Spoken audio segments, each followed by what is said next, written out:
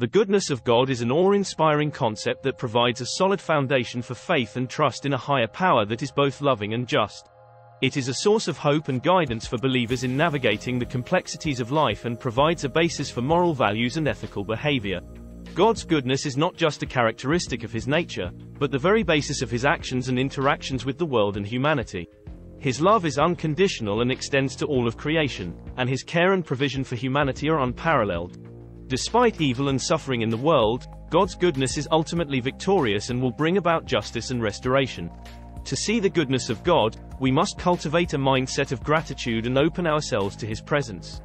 Establishing a profound connection with God requires confidence, which can be achieved through consistent and meaningful time spent in prayer and meditation. This allows us to fully experience His benevolence and witness the positive impact it has on our lives.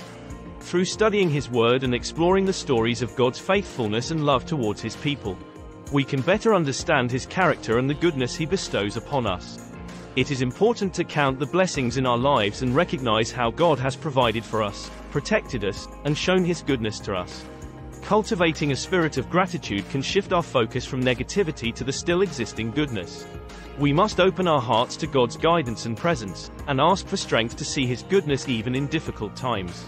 In conclusion, the goodness of God is a powerful force that can inspire us to live better lives and foster a deeper connection with our Creator.